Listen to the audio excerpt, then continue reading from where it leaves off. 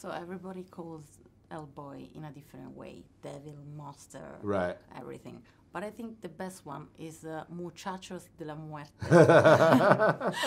it was really hilarious. you agree? It's the best one? It's a good one, yeah. Yeah. yeah. I mean, there's all kinds of terms, but well, yeah, yeah, yeah. He's a yeah. That's a good one. I like that one too.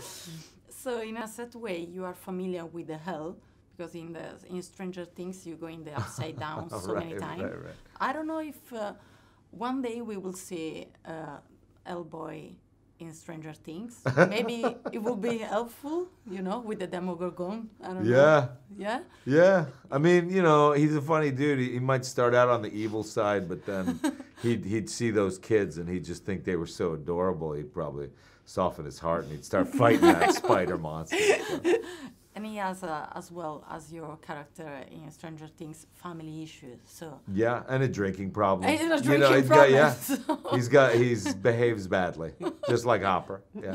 thank you guys. Thank you so much. Thank you. Thank you. Bye.